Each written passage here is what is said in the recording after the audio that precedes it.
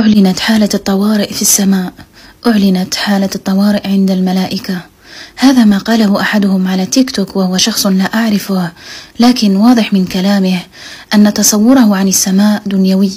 هو يتخيل السماوات كمستشفى كبير تعمل فيه كائنات عاطفية وذات تفكير بطيء ومحدود مثل الإنس. لكن السماوات ليست هكذا والملائكة كيانات لا تشبه الإنس في شيء. الملائكة كيانات غير مخيرة وقوية جدا يعني أنها تتلقى أمرا ما لا تفكر فيه تطبقه وفقط. لا تعصي أوامر الله أبدا وبما أنها غير مخيرة فهي لا تملك ما يملكه الإنسان من عواطف وهرمونات وفوضى عصبية. كما قال الله عنهم لا يعصون الله ما أمرهم ويفعلون ما يؤمرون. يعني يطبقون وفقط مهما كان الأمر. لا تذمر ولا حالة طوارئ ولا فوضى كما أنه لا يوجد شيء أو كيان أرضي لا تقدر الملائكة عليه. وهذا بتسخير من الله سبحانه وتعالى طبعا حتى أن الملائكة هي من ستدخل أعتى الشياطين إلى الجحيم. هي فقط لم تتلقى الأوامر من الله. لذلك لا وجود لحالة طوارئ في السماء. حتى يوم القيامة لا تعتبر حالة طوارئ في السماء.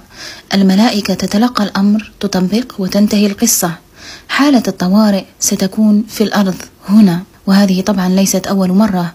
نحن لسنا أول عصر يدخل الظلمات ولسنا أول عصر تتكالب فيه الشياطين على الإنس. كل مرة الأرض تتجهز لشيء عظيم وهو أن يكون أكبر عدد من الناس وعاء للشياطين لأن كل شخص عند تحوله لوعاء يصبح ضمن جند إبليس أو الدجال ويخدم منظمته على الأرض.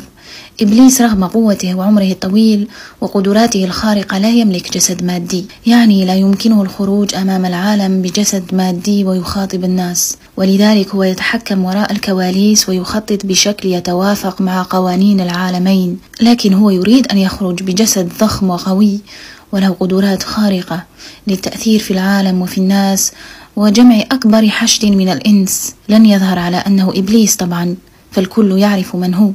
سيظهر بشكل مختلف بهوية منقذ حتى يتبعه الناس. لكن هل سيظهر هو بجسد خارق للعادة أم سيوكل شخصا ما للظهور؟ لأن الجسد الذي يصلح ليكون وعاء لإبليس لم يتم إنشاؤه بعد. وبما أننا نقترب من هذا اليوم فالشياطين ستكون أكثر شراسة على الإطلاق. لأنها تعرف أن وقتها سينفذ وهي لا تريد ذلك. ولذلك على كل شخص أن يختار صفه الآن الصراط المستقيم أم طريق الشيطان. على كل شخص يختار الصراط أن يتخلص من الحضور الشيطاني حوله ومن الممارسات الشيطانية وأن يطهر قلبه من الشرك ويتمسك بالتوحيد.